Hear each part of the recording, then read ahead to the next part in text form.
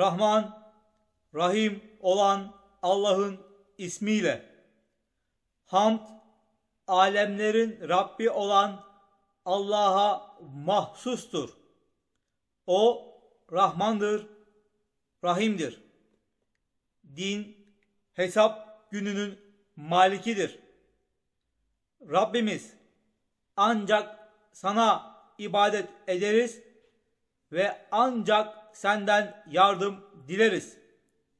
Bizi dost doğru yola hidayet eyle.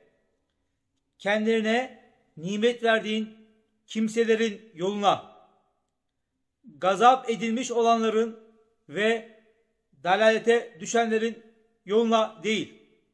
Amin.